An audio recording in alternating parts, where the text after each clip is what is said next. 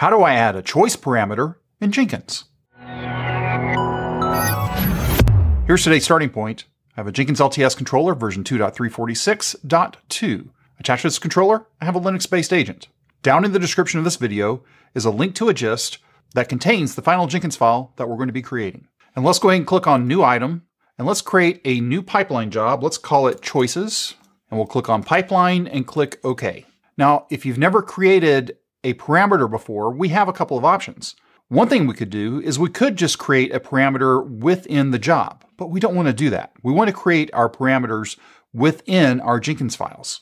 So how do we do that? Well, let's click on pipeline syntax. We'll get a new screen here and let's click on declarative directive generator. And under the dropdown, let's change this to parameters. And for this case, what we want to do is select choice. And let's take a look at each of these options. We're going to give it a name. So for the very first one, we're going to give it a name of choice. Now for our choices, we have to put in a choice. Let's click on the help. We have the potential choices, one per line. So in this case, let's type one, two, and three. And then for our description, let's go ahead and type in uh, pick something. Okay. And then let's click on generate declarative directive. And here is the parameter section that we're going to add into our Jenkins file. So we'll copy that. Let's go back over to our pipeline job. We're going to try a sample pipeline. We'll just say hello world. And in between the agent any and stages, let's go ahead and paste in our parameters block that we just generated.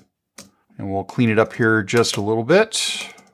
And then let's go ahead and change our echo hello world to an echo choice using an SH step. And we're going to say dollar sign brace params dot choice, where choice is the same as the name of our parameter. So let's go ahead and click on save. Now, because we have defined our parameter within our Jenkins file, when we run this job the very first time, it's going to set up the parameter. You'll notice right now it says build now. Let's go and click on that once. So as the job runs, what's going to happen is it's going to parse the Jenkins file, create that parameter within the job, and then run the rest of the job.